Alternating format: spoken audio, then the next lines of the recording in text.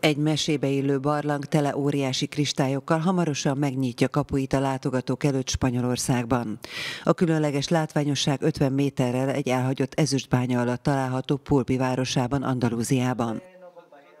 Maga a barlang mindössze 8 méter hosszú és 2 méter magas, de minden milliméter káprázatos, átlátszó kristályjal van bevonva. Ezek olyan átlátszóak, hogy el lehet olvasni a mögéjük tett papírra írtakat. A geoda egy érdekes ásvány, különböző módon keletkezhet. Egy kőzetben kialakul egy üreg, amit egy másik ásvány, kőzet vagy drága kő tölt ki. Ez a geoda. Itt volt egy üreg, amely megtelt kálciumszulfáttal. Ez szelén kristályokat hozott létre.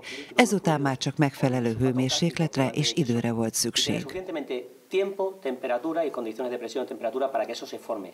A geoda, amelynek korát 6 millió évesre becsülik, a geológusok szerint egyedülálló képződmény nagysága, kristályainak tökéletessége, mérete és tisztasága miatt. Ez lesz az első alkalom, hogy látogatókat engednek be ebbe a kivételes természeti ritkaságba.